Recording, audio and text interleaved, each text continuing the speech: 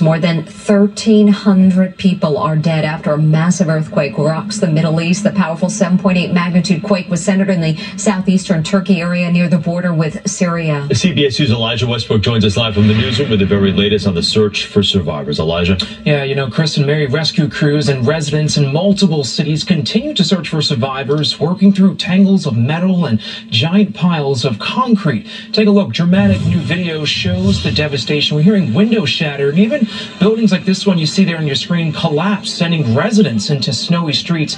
Now, officials say the quake, which lasted about a minute, uh, struck six miles near southern Turkey and was felt in Cyprus, Lebanon, and Syria.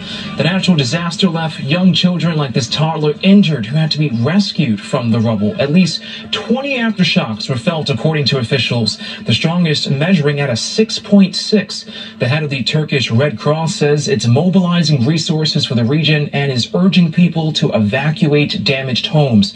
Reports show that area is regularly hit by strong quakes. In fact, Turkey sits on top of major fault lines. More than 18,000 people were killed in powerful quakes that hit the northwest part of the country back in 1999.